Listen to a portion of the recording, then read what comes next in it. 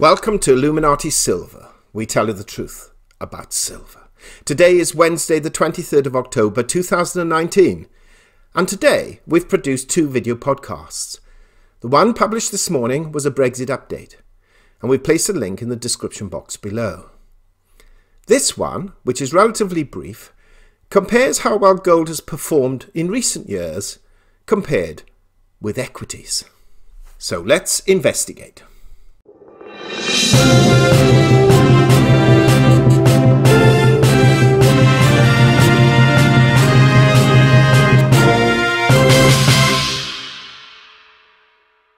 The performance of gold bullion is often compared to stocks as different investment vehicles. Gold is regarded by some as a store of value without growth, whereas stocks are regarded as a return on value, that is, growth from anticipated real prices plus dividends. But these descriptions are far too simple, and also with stock markets close to near all time highs and interest rates falling, the risk and cost of holding gold comparatively becomes smaller when compared with alternative interest bearing asset classes. So let's take a look at gold prices since 1970 and compare them with the performance of the Dow Jones Industrial Average. Those of you who viewed our video yesterday entitled Is Gold an Effective Hedge Against Inflation will be fully aware of this table, where we show the price of gold from 1970 in five-year tranches until today. What we've done in this brief video outtake, which we shall show you in a second, is to overlay it with the performance of the Dow Jones Index over a similar period. So, taking a look at gold price and the Dow Jones from 1970, you can see here, uh, this was the chart we showed yesterday, uh, that we can see gold started off at $34 and at the time the Dow Jones Industrial Average was 4,924. Now the it, Dow Jones figures here don't relate specifically to these days, but the average for the month of October, save two of them because we couldn't get the figures exactly in sufficient time. 1984 and 1989, we've taken the September figures, not for any other reason other than the fact the October ones weren't immediately available, and the November ones and the September ones were very close anyway, so there wasn't a dramatic difference between those two months. So we've used the September figures. So looking at this, we can see that going from 70 to 74, gold actually went up 355%. At the same period, the Dow Jones fell by 32%. Then gold rose by 149 and the Dow fell by 17. Then gold fell by 12% and the Dow actually went up by 2%. Gold went up by 8 and the Dow shot up by 87%. These are over five-year periods. Gold then proved up 7% on the previous five years and the Dow was up 21%. Then gold fell 18% and the Dow was up 144. But then gold rose by 30% and the Dow was down. Gold rose considerably and the Dow was down. And then we had a period from 2014 where both gold went up and so did the Dow. So it's very difficult with not having more data put into this equation, but the broad image that one gets in the main is that when gold goes up, you find equities have to some degree fallen, and when gold goes down, you find that equities have risen. The difference has been since 2014.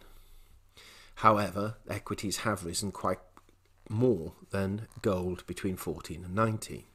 So we then thought, okay, there's no point working out inflation because the, the, the figures would work out similarly. But if we take a look at the price of gold as of the 18th of October, which was 1487. It's only about $10 difference now, today, with the price it was in 1970. We can see that gold has risen by 4,273%.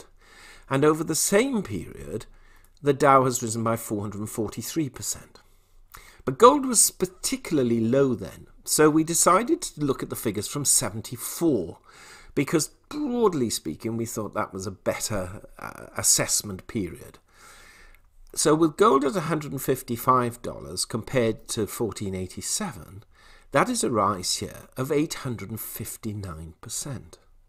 And if you take the same period for the Dow on this in 97 and you compared it to uh, the October Dow 26770, you'll find that the Dow has gone up by 700%. So gold has actually, over that period of time, outperformed the Dow Jones Index. And bearing in mind, in fairness, as of today, we're looking at gold, admittedly, some $400 off its all time high, and the Dow some, what, 200 points off its all time high. So they're not sort of considerably away from their all-time highs. It's not as if the Dow was plummeting to to its bottom and gold was rising to the top. So they're not quite equidistant. The point is, and this reflects what we said yesterday, that gold has proven to be a good hedge against inflation. And it's also showing itself to be a good uh, investment, if you want to call it that. We don't like using that word, but certainly a good place to put your money, even compared to equities.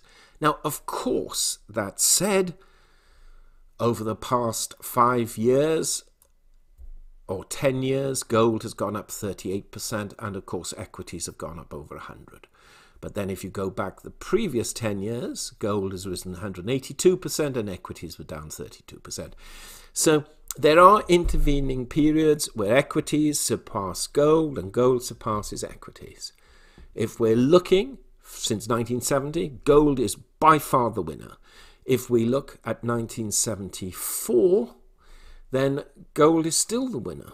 Now, we haven't worked out all of the others, but since gold was up in 1979, compared to there, you'll probably find that that's a winner too.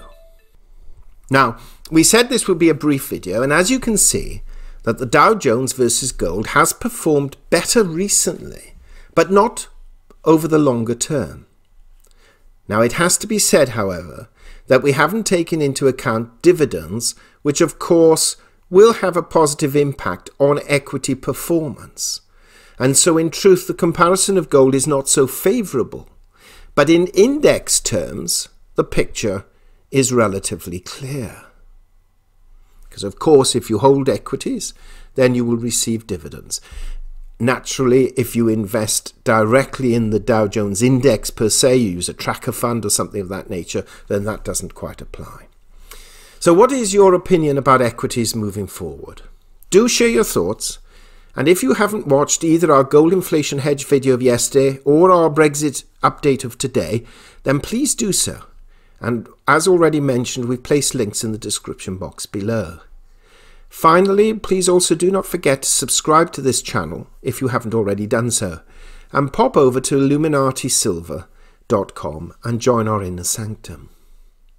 Tomorrow and Friday, we have some silver and gold videos to present to you. So please watch out for them. Thank you for listening. We hope you have found this video interesting and informative. And if so, please give it a thumbs up and share it on social media. Please ensure that you have subscribed to our channel and press the bell sign so that you are notified of any future videos. Also, kindly visit our website at illuminatisilver.com and if you haven't already done so, please subscribe either as a free or paying member for regular email updates and offers. Disclaimer Illuminati silver owners come from a background of banking, international wealth management, and economics. Having now retired from these worlds, we are not qualified to give investment advice. Therefore, this and other productions must not be deemed to be giving such advice and merely represent the personal views of its owners.